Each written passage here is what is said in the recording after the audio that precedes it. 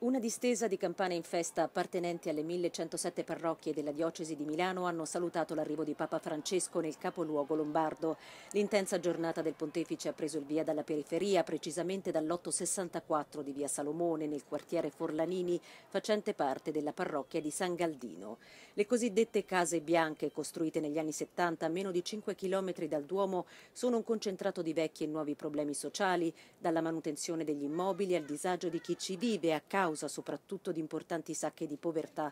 In un clima di grande gioia e riconoscenza, incontrando alcune famiglie nei rispettivi appartamenti e i residenti e rappresentanti di rom, islamici e immigrati nel piazzale, il pontefice ha ringraziato per i doni ricevuti una stola interamente realizzata a mano, simbolo che il sacerdote cristiano è scelto dal popolo e al servizio del popolo, e un'immagine della Madonnina di San Galdino prima e dopo il restauro. Proprio l'esempio di Maria che sempre ci viene incontro non per fare proseliti ma per accompagnarci nella vita deve spingere oggi la Chiesa a non rimanere ad aspettare ma ad andare verso le persone, soprattutto quelle che vengono abbandonate ai margini della società, credenti e non credenti.